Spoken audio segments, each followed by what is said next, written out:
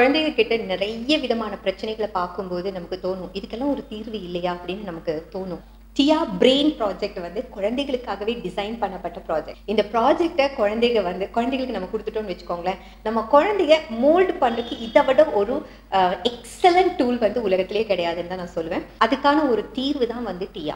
So நம்ம இப்போ வந்து நிறைய பேரண்ட்ஸ் கிட்ட பேசலாம். அவங்க வந்து அவங்க குழந்தைகிட்ட இந்த கிளாஸுக்கு அப்புறமா என்ன மாதிரியான மாற்றங்கள்லாம் பார்த்தாங்க அப்படின்னு சொல்லிட்டு நம்ம அவங்க கிட்ட டிஸ்கஸ் பண்ணலாம். சொல்லுங்க சார் கௌஷிகாவை கிளாஸுக்கு போடுறதுக்கு என்ன என்னென்னலாம் எதிர்பார்த்து கிளாஸுக்கு போட்டீங்க?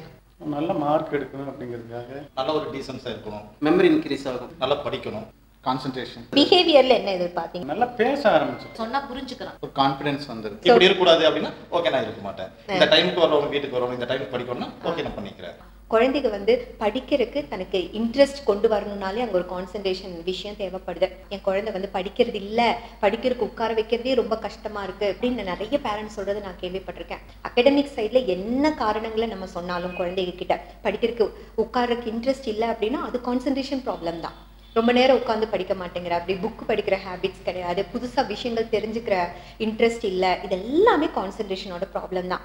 ஆனா அந்த பேரண்ட்ஸுக்கு ஒரு டூல் இருக்கு. அதை மாத்திரக்கு ஒரு தீர்வு இருக்கு. அது என்னன்னு கேட்டீங்கன்னா கான்சன்ட்ரேஷனை டெவலப் பண்ணி கொடுக்கறது. அகடமிக் சைடுனா வேற என்ன சேஞ்சஸ் ஏன்னா ஃபெயில் ஆகுற குழந்தை அடுத்த இப்ப பேசிக் எல்லாம் தெரியுது. ஃபார்ட்டி மினிட்ஸ் ஆகுங்கிறாங்கன்னு வச்சுக்கோங்க ஒரு மனப்பாடம் பண்றதுக்கு. இப்போ ஒரு டென் மினிட்ஸ்க்குள்ளேயே வந்து By heart மனப்பாடம் பண்ணிடுறா. பண்ணிடுறாங்க ஹேண்ட் ரைட்டிங் இம்ப்ரூவ் ஆயிருக்கு. ஓரளவுக்கு மார்க் வாங்கியிருக்கிறான் அதாவது வந்து மேத்ஸ்ல பிரச்சனையா தான் இருக்கும். ம், ம். அப்புறம் இதெல்லாம் வந்ததுக்கு அப்புறம் வந்து அவங்க எப்படி எடுத்தாலும் புரியுதுங்கிற மாதிரி சொல்றாங்க. அதுக்குன்னு ஒரு ஸ்பெஷலைஸ்டு மெத்தடாலஜி இருக்கு. அந்த மெத்தடாலஜியை ஃபாலோ பண்ணும்போது குழந்தைகளுக்கு எஜுகேஷன் மேல ஒரு பேஷன் வந்துடும் ஒரு படிக்கணுங்கிற ஆர்வம் வந்துடும் இதெல்லாம் வந்து மேஜிக் மாதிரி நடக்கும். டிசிப்ளினா இருக்கும். ஒருவேளை இந்த மாதிரி வகுப்பே இல்லாம இருந்ததுன்னா பெரிய குழந்தையாகும் போது அவங்களுக்கு கஷ்டம் தாங்க உன்னுடைய லைஃப்ல அவன் ஸ்டாண்ட் பண்ற அளவுக்கு இல்லாத பொசிஷன் தான் இருந்தது மேக்ஸிமம். அவன் என்ன செய்வான்ங்கிற ஒரு பயம் எங்களுக்குள்ள இருந்தது. இப்போ பரவாயில்லைங்க. சரிங்க. இந்த மாதிரி கிளாஸஸ் வந்து நம்ம குழந்தைகளுக்கு வேணுமா? கண்டிப்பா வேணும். கண்டிப்பா வேணும். கண்டிப்பா வேணும். ஏன்னா நம்ம படிக்கும் போதெல்லாம் இந்த மாதிரி இல்லை. யாருமே கான்சென்ட்ரேஷனுக்குன்னு ஒரு ஸ்பெஷலைஸ்டு கிளாஸ்க்குலாம் நம்மள அனுப்புனது இல்லை. இதுல வந்து எந்த ஒரு சைடு எஃபெக்டும் இல்ல. இதுல வந்து அவங்களுக்கு ஒரு நான் அவங்கள தன்னைத்தானே புரிஞ்சுக்கக்கூடிய ஒரு அது- அதாவது வந்து அவங்களுக்குள்ள இருக்கிற திறமையை வந்து வெளியே கொண்டு வரக்கூடிய ஒரு முக்கியமான ஒரு ரெண்டு. விஷயம் இவர் சொன்னது எனக்கு ரொம்ப பிடிச்சிருக்கு. அதாவது செல்ஃப் அனலைசேஷன் நான் யாருங்கிற ஒரு புரிதல் வந்து இந்த குழந்தை இந்த கிளாஸ்ல வர எல்லா குழந்தைகளுக்கும் இருக்கும். அதே மாதிரி ஹிடன் பொட்டென்ஷியல் நம்ம கிட்ட என்ன திறமை இருக்கோ அதை வெளிப்படுத்துற இதுவும் வந்து இந்த கோர்ஸ்ல இருக்கு. நம்ம பார்த்தோம்னா நம்ம வந்து நம்மளுக்கு பர்டிகுலரா எதுல இன்ட்ரெஸ்ட் நம்ம தெரியாமையே brought up ஆகி வந்துட்டோம் கரெக்ட் இவங்களுக்கு வந்துட்டு இந்த ஃபீல்ட்ல விடும்போது தே வேர் தே ஆர் ஸ்பெசிஃபிக் இன்ட்ரெஸ்ட்ங்கிற அந்த டேலண்ட் ஐடென்டிஃபை பண்ணி வெளியில கொண்டு வரீங்கன்னு ஐ காட் an ஐடியா எனக்கு மெயினா வந்து அவனுக்கு பேசிக்கே தெரியாதுன்னு சொல்லலங்க. ஹோம்ஒர்க் எழுத மாட்டான் எதுவும் பண்ண மாட்டான் இப்ப வந்து அப்படி இல்ல. அவனோட எனக்கு அதே வந்து ஒரு பெரிய அதிசயம் தான் உனக்கு என்ன சேஞ்சஸ் உங்ககிட்ட தெரியுது? மெமரி பவர் நல்லாவே இன்க்ரீஸ் ஆயிருக்கு மேம் சீக்கிரமாவே நான் படிச்சிடுறேன் அப்புறம் மிஸ் லெசன் எடுக்கும்போது அதை தவிர வேற எதுவும் நம்மளால ஃபோக்கஸ் பண்ண முடியல. கான்சென்ட்ரேஷன் பவரும் இன்க்ரீஸ் ஆயிருக்கு. அப்புறம் ஸ்டேஜ் ஃபியர் இல்ல. வெரி குட் கிராஃப்ட்ஸ் அப்புறம் டிவி பார்க்கறது குறைஞ்சிருச்சு. அதுக்கு பதிலா கிராஃப்ட்ஸ் கிராஃப்ட் ஒர்க்ஸ் எல்லாம் நிறைய பண்ணிட்டு இருக்கேன். கிரியேட்டிவா உனக்கு ஏதாவது பண்ணணும்னு தோணுது.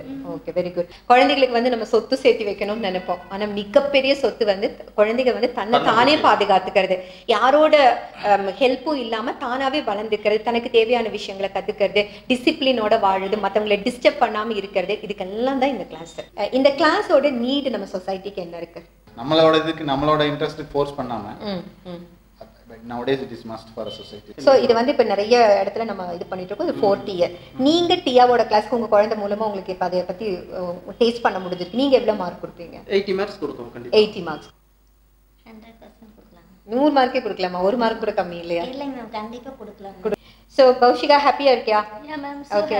குழந்தைக்கு வந்து ஒவ்வொரு குழந்தையுமே ஜீனியஸ் அதுதான் நாங்க சொல்றோம். ஒவ்வொரு குழந்தையுமே ஜீனியஸ் அந்த குழந்தை தன்னோட ஹிடன் பொட்டென்ஷியலை வெளியில கொண்டு வரக்கு ஒரு டூல் வேணும். அதுதான் வந்து கான்சன்ட்ரேஷன் டெவலப்மெண்ட் ப்ரோக்ராம்